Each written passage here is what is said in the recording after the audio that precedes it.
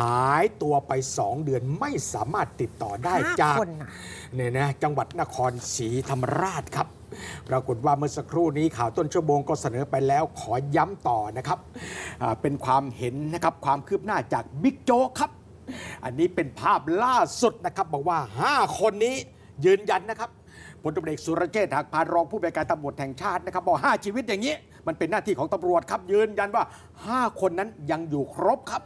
ภาพที่เห็นอยู่ตรงนี้ก็คือว่าช่วงประมาณบ่ายเมื่อวานนี้เองครับ อยู่ในพื้นที่แมนชั่นแห่งหนึ่งอยู่ที่ลาดพร้าวปรากฏว่า 5 คนเนี้ย ลงมาขึ้นรถตู้ครับในช่วงบ่ายๆแล้วก็หายไป แล้วรถตู้คันนั้นเป็นรถตู้คันไหนครับ คนที่รับเป็นรถที่รับมาจากนครศรีธรรมราช และรถคันนั้นวิ่งไปที่จังหวัดพะเยาครับ แล้วสุดท้ายกลับมากรุงเทพมหานคร เพราะฉะนั้นสบายใจได้นะครับว่า 5 คนยังอยู่แต่นะครับมันจะเกี่ยวข้องอะไร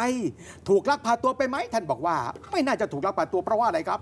ไม่มีใครข่มขืนไม่มีใครบังคับไม่ไม่มีข่มขู่เนี่ยเด็กก็ยังไปซื้อกับข้าวอยู่นี่นะอ้าวแล้วลักพาตัวเหรอครับลักพาตัวยังไงก็เห็นกันอยู่หมดนี่นะ แต่มันจะเกี่ยวข้องกับยาเสพติดไหมท่านก็บอกว่าไม่น่าจะเกี่ยวข้องกับยาเสพติด แต่จะเป็นเรื่องอะไรติดตามต่อไปครับ ยืนยันว่าสบายใจสำหรับพี่น้อง